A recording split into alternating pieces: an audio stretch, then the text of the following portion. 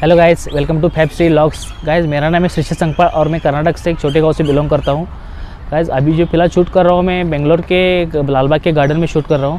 Guys बात कुछ ऐसी है कि भाई, जो भी मन में वो बोल दूँगा क्योंकि मेरा फ़र्स्ट लॉग है। बहुत दिन से सोच रहा था कि गाइस मेरे को भी लॉक्स करना है करना है। बट अभी तक मेरे को लॉक्स नहीं हो पा रहा था क्योंकि मेरे को कॉन्फिडेंस नहीं आ रहा था कैमरे के आगे फेस करने के लिए। तो और सोचता रहूँगा तो गाइज़ ऐसा ही सोचता रहूँगा। इसलिए आज सोच लिया कि मैंने फाइनली मेरे को फ़र्स्ट लॉग करना है।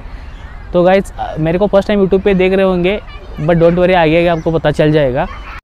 और गाइज़ बोया का एम एम वन माइक और ट्राईपोड मैंने मंगाया है, वो अलग से अनबॉक्सिंग का वीडियो डाल दूँगा। तो गाइज़ मिलते हैं नेक्स्ट वीडियो में।